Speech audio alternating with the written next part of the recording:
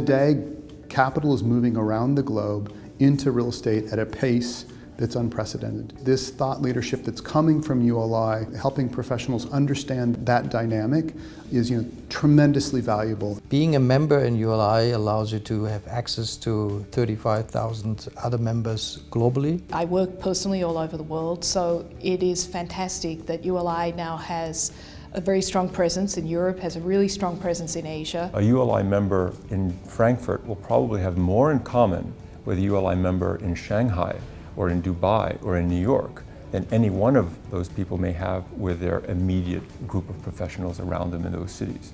So that membership, that partnership across this extraordinary institution worldwide is very valuable. There are a lot of innovations that are happening across the world that, that we're not seeing here in the United States.